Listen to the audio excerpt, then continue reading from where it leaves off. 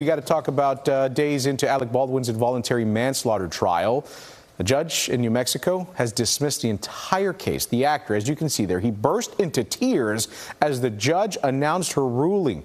Baldwin has insisted that he was not guilty and did not pull the trigger of a prop gun, resulting in the death of cinematographer on the movie set for Rust.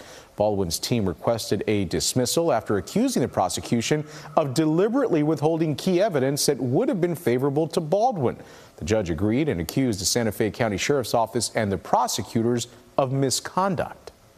The state's willful withholding of this information was intentional and deliberate.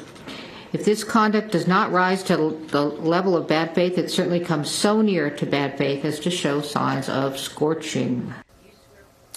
In an extraordinary turn, Special Prosecutor Kari Morrissey called herself to the witness stand to defend her decision not to disclose evidence. Earlier in the day, one of the prosecutors quit the case after a disagreement with Morrissey. The judge said Baldwin cannot be retried.